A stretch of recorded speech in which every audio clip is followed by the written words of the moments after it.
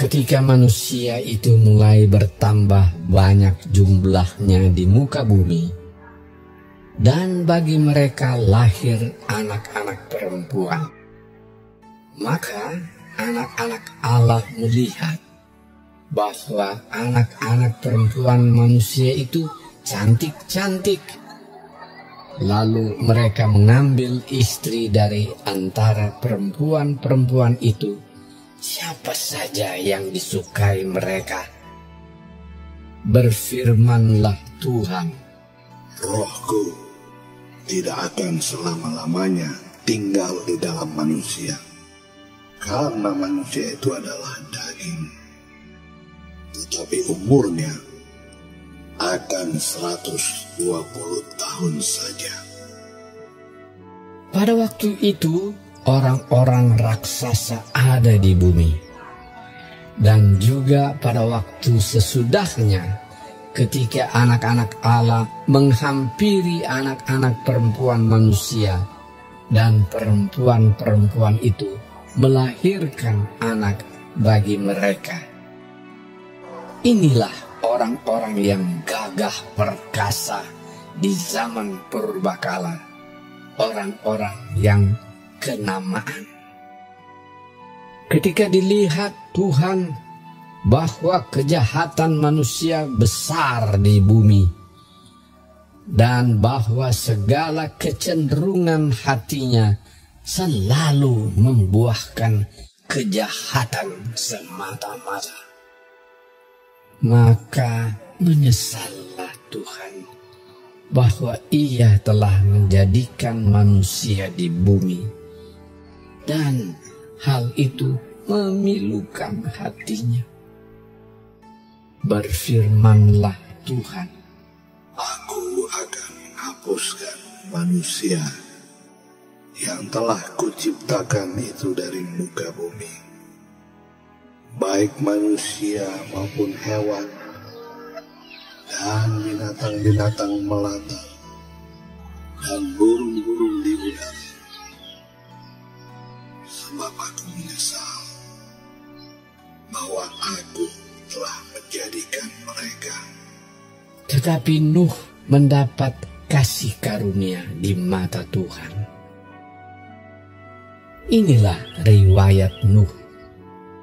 Nuh adalah seorang yang benar dan tidak bercela di antara orang-orang sesamanya dan Nuh itu hidup bergaul dengan Allah.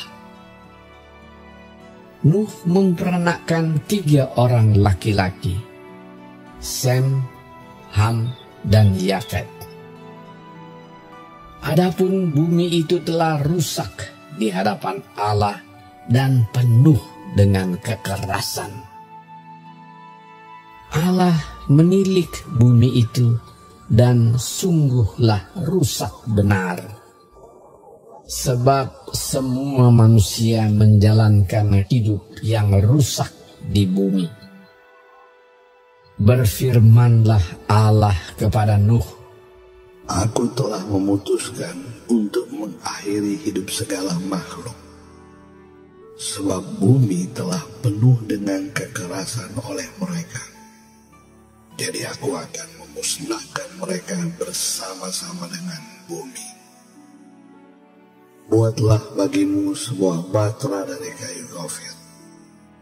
Batra itu harus kau buat berpetak-petak dan harus kau tutup dengan bakal dari luar dan dari dalam. Beginilah engkau harus membuat bahtera itu. 300 hasta panjangnya 50 hasta lebarnya dan tiga puluh hasta tingginya. Buatlah atap pada batra itu, dan selesaikanlah batra itu sampai sehasta dari atas, dan pasanglah pintunya pada lambungnya. Buatlah batra itu bertingkat bawah, tengah, sesungguhnya aku akan mendatangkan air bah meliputi bumi untuk memusnahkan segala yang hidup dan bernyawa di kolong langit. Segala yang ada di bumi akan mati binasa. Tetapi dengan engkau, aku akan mengadakan perjanjianku. Dan engkau akan masuk ke dalam bahtera itu.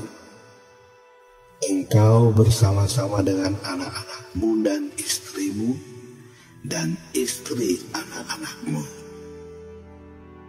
Dan dari segala yang hidup, dari segala makhluk, dari semuanya, haruslah engkau bawa satu pasang ke dalam bahtera itu.